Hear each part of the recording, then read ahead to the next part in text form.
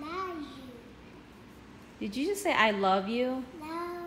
Oh, I'm sad now. Oh, the Emmy love you. Yes. Can you spell mom?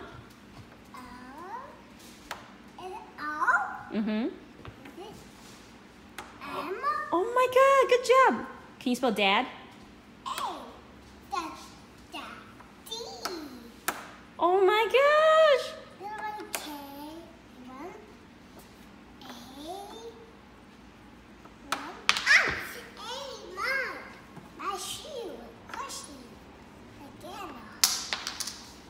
You spell Kai? Yeah,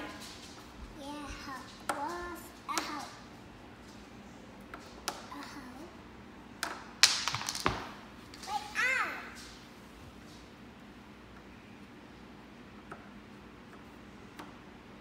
Good job, baby. High five, high five.